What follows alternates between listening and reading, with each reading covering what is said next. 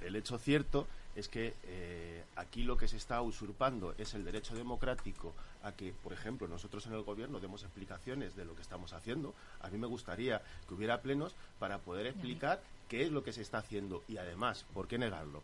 A mí me gustaría escuchar a mis compañeros y mis compañeras concejalas hablando de cuestiones O sea, que ahora resulta que no, este se, que no, que de no este por- ayuntamiento- por la oposición. De este ayuntamiento me gustaría escuchar sus razonamientos y sus argumentaciones. Lo mismo alguna nos sirve. Los